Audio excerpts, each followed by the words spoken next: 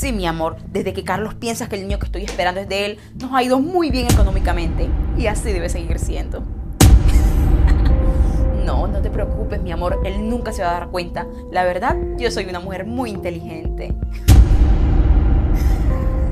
Le voy a sacar todo el dinero que sea posible. Lo voy a dejar en la ruina. Vaya, vaya, Vanessa. Déjame decirte que hasta aquí llegó tu plan.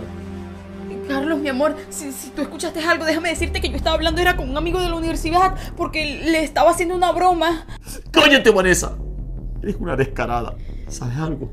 Te voy a dar donde más te duele. No te vas a quedar con nada de mi dinero. Carlos, por favor, no grites. Le puede hacer daño a nuestro bebé y tú, tú no me puedes dejar en la calle sin nada. A ti no te importa ese niño. A ti no te importa nada. No te importo yo. Solamente te importas tú misma. ¿Sabes algo? Claro que sí puedo. Y te vas a ir ahora mismo. ¡Ay! Carlos, ayúdame, me está doliendo mucho. ¡Ah!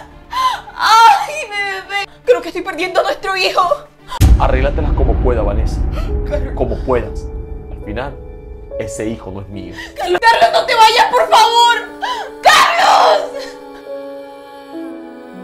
¿Creen que hice bien en dejarla allí tirada?